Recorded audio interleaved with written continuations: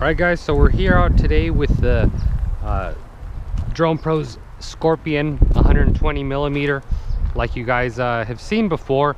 Uh, really, the only difference today is there's uh, quite a bit of you guys that have been asking if we can offer this unit without the FPV equipment. So, of course, we we listened to you guys, and and that's what we've done here today. So uh, here, let me quickly arm the motors.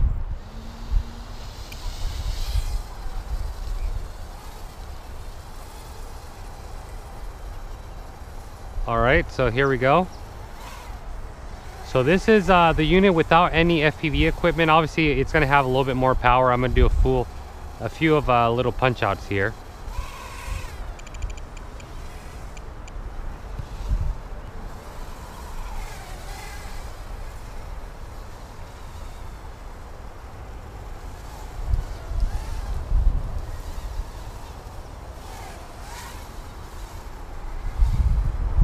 still very agile little machine. It's obviously a little bit more agile uh, in this setup.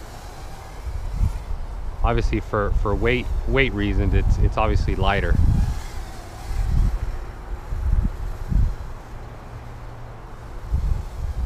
But yeah we we've been uh, posting this uh, on a few forums. The the like i said the the reason we uh, wanted to offer this setup is quite a few guys on the forums you know, a lot of them were saying, well, you know, we kind of don't care for the FPV or, you know, we want to add FPV, but just at a later time, or we want to add uh, whatever I guess we currently have. Uh, there's actually quite a bit of options out there uh, for the guys buying the, the units like this. Uh, you can do the, the Horizon Hobby FPV setup. Uh, they got the camera with the built-in video transmitter. You can hot glue that up to the front and just kind of piggyback it. And um, that will also be 100% compatible with the Fat Shark. Just putting it around here, just showing you guys a little bit of the flight performance.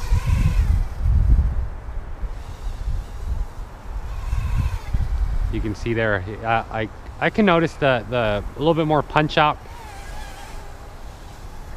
on the on the unit. Obviously, we don't have the DVR on board. We don't have the um, camera and we don't have the video transmitter so the unit's really thanking us right now weight wise